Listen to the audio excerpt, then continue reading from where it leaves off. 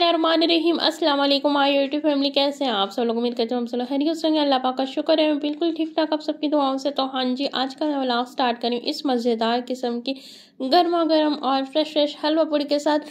और मैंने पूड़ियों में ऑयल चेक करी तो मैंने कहा कि कितना ऑयल है इसमें? और जब हम खाते हैं ना तो कितना हमें मीन्स के ये नुकसान देता है और हमें पता भी नहीं है कि ये किस किस्म का ऑयल यूज़ करते हैं। बट क्या करें, मजबूरी हम पाकिस्तानियों के इस तरह के खाने ना खाए ना बस ऐसा होता है कि ज़िंदगी फीकी फीकी सी है बद रौनक सी है बद मज़ा सी तो बस ये खाना भी मस्त है ना। तो बस यहाँ पर हलवा और आलू की तरकारी साथ में चने थे। अच्छा चने इतने ख़ास मज़े के नहीं थे। मुझे नहीं अच्छे लगे बट ना आलू की तरकारी और हलवा, बहुत ज़्यादा मज़े का था। अब मेरा फिर से दिल कर रहा है वीडियो, जब मैं एडिट कर रही हूँ, कि मैंने दिल कर रहा है कि मैं दोबारा से हलवा पूड़ी इंजॉय करूँ। और ना, पूड़ियाँ बहुत मज़े की थी सॉफ्ट सॉफ्ट आप देख सकते हैं। किस किस के मुँह में इस टाइम पानी आ रहा है? तो बस हलवा पूड़ी इंजॉय कर लेंगे। उसके बाद फिर, हलवा पूड़ी के बाद चाय तो मस्त है ना। फिर मैंने कहा कि मैं चाय भी बना लेती हूँ। क्योंकि हलवा पूड़ी के बाद ना अगर चाय ना पी जाए ना तो बस फिर गले ही ऐसी की तैसी हो जाती है। तो बस फिर इसलिए मैंने चाय बना ली थी और आज जिस इसने चाय पीनी है, जो चाय लवर्स हैं। तो बस नाश्ता वाश्ता हमने कर लिया था और ये देखे हमारा फिर से निकल आई है और ये ना हाथ ही नहीं आ रही थी और मुझे डर लग रहा था कि कहीं ये बाहर ना चली जाए और ये वही है, मीन्स के जिसने ना जो चिड़िया ने ना अंडे दिए थे, मीन्स के जो छोटे बच्चे थे ये वही मीन्स के आवारा निकल जाती है, अब इसके पर लग गए ना तो ये टिकती नहीं है। और पता नहीं, हमें समझ नहीं आती ये कहाँ से निकल आती है, आखिर कुछ समझ तो आए बंदे को। यार बस फिर ना इसको अंदर बंद करके दोबारा से मैं आ गई थी, मार्केट जा रही थी मैं। और मैं फिर से मार्केट क्यों जा रही थी? मैंने ना अच्छा टेलर से कपड़े उठाने थे, मैं पिछली दफ़ा टेलर से कपड़े नहीं उठाए थे तो बस मैंने कहा कि आज मैं टेलर से कपड़े भी उठा लाती हूँ। और फिर मैंने छोटी मोटी और शॉपिंग करनी थी। शॉपिंग नहीं करनी थी, बस ऐसे कॉस्मेटिक के शॉप पे जाना था। मैंने लेना था नेल रिमूवर और नेल पेंट लेनी थी, बस ऐसे बैठे बैठाना। बस मेरे दिमाग में आया कि मैं ना नेल पेंट का कोई अच्छा सा कलर लेके आती क्योंकि मैंने नेक्स्ट डे जाना था शादी में। तो ना तो बस फिर मैंने कहा कि चलो चलती हूँ। कपड़े भी उठा लाऊँगी और एक साथ वो काम भी कराऊँगी। और फेस वॉश भी ख़त्म हो रहा था। मैंने कहा कि वो भी ले आती हूँ और साथ साथ ना थोड़ा माइंड भी फ्रेश करूँगी और भैया की मुझे ना बात याद आ गई भैया कहते हैं, तुम्हें ना घर में सुकून है, तुम ना बहर ही बैठी रहा करो। रोड पे जो फुटपाथ होती है ना, वहीं पे खैर, बस यहाँ पर ना भाई ने लेती है गर्मा गर्म मूँगफलियाँ और बहुत ही मज़े की थी ये ना, और सर्दी आ रही है ना तो वैसे ही बहुत ज़्यादा मज़े की लगती हैं। तो बस यहाँ पर ये सब इंजॉय करते हैं साथ में ना गाड़ी का कुछ काम हो रहा था तो इसलिए ना हम रुके हुए थे। तो बस भैया, भाई ने, भैया नहीं, सॉरी भाई ने मूँगफलियाँ लेके दी थी कि बैठो और इन्जॉय करो, साथ में ना मैं गाड़ी का काम भी करवा लेता हूँ। तो बस यहाँ पर मैं आ गई थी टेलर वाली शॉप पे और मैंने कपड़े उठाने थे। टेलर से मैंने कहा कि साथ ही करीब एक कॉस्मेटिक की शॉप है, वहाँ से भी मैं अपना जो काम करना है मैं वो भी कर लूँगी। और मुझे भाई भी यही कहता है कि तुम्हारे ना ये जो लड़कियों के चक्कर होते हैं ना, मज़ार के ना, ये ख़त्म होते। जब तक ना शादी ना ख़त्म हो, ईद ना ख़त्म हो, बस तुम्हारे ना फेरे लगते ही रहते हैं। कभी कोई चीज़ लेनी, कभी कोई चीज़। आज मैंने वैसे नहीं आना था, टेलर से ना कपड़े भाइयों ने ही उठाने थे मेरे। बट ना, फिर मैंने कहा कि मैं नेल पेंट मैंने लेनी है। तो बस ऐसे ही बैठे बैठे दिमाग में आके मैं नेल पेंट कोई अच्छा सा कलर लेके आती हूँ।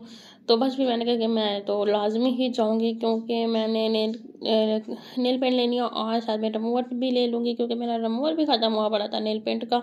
और फिर बस फिर मैं आ गई थी यहाँ पे टेलर की शॉप पे। तो बस यहाँ से कपड़े वगैरह उठाऊँगी, उसके बाद फिर मैं जाऊँगी, बाकी का काम करूँगी। और आप लोग सुनाए, आप लोगों की कैसी चल रही है ज़िंदगानी? और मौसम कैसे है आप लोगों के यहाँ और यहाँ तो मौसम काफ़ी हद तक चेंज हो गया।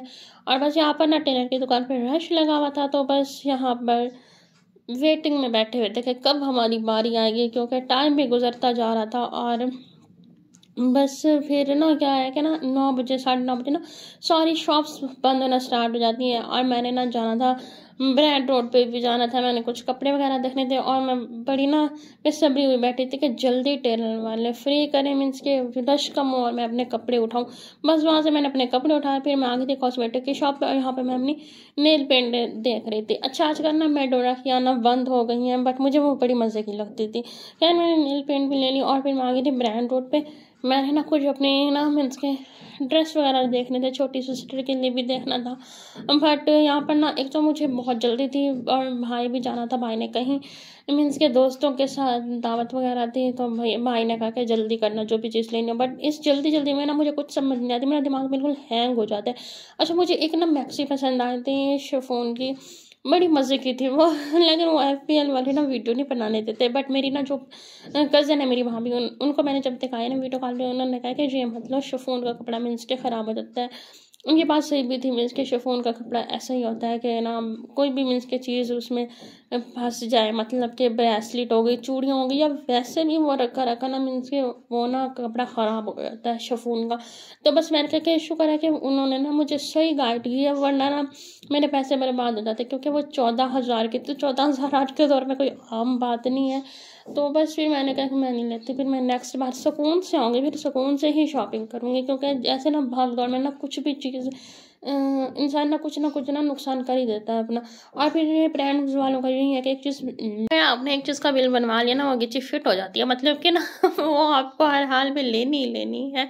तो बस शुक्र मैंने कहा मैंने नहीं ली, फिर हमें लग रही थी भूख तो हमने कहा कि चलो चलो आज ना कढ़ाई वगैरह और आलू के पराठे इंजॉय करते हैं, क्योंकि जहाँ पे ना एक डेरा टाइप मीन्स के ढाबा टाइप है ना, वहाँ पे ना आलू के पराठे बहुत मज़े करते हैं। छोटे भाई ने मुझे कहा था कि मैं यहाँ से ना भाई के साथ आता हूँ आलू के पराठे खाने। मैंने कहा, चलो।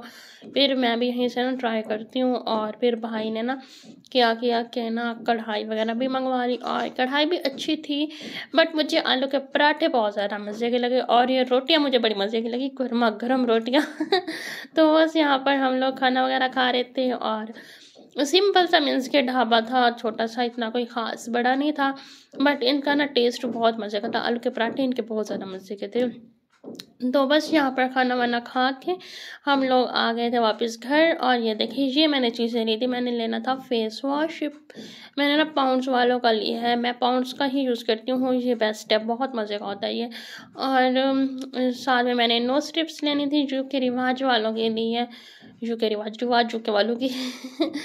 तो बस, और ये देखें ये भी मैंने नेल रिमूवर लिया है। और इसको देखते हैं ये कैसा है। खैर, बस ये सारी चीज़ें ली और बस आज का व्लॉग यहीं तक था। आई होप कि आपको अच्छा लगा होगा अच्छा लगा तो क्या करना लाइक कर देना शेयर करना सब्सक्राइब करना। मैं दुआओं में याद रखना है। इंशाल्लाह से फिर मिलेंगे।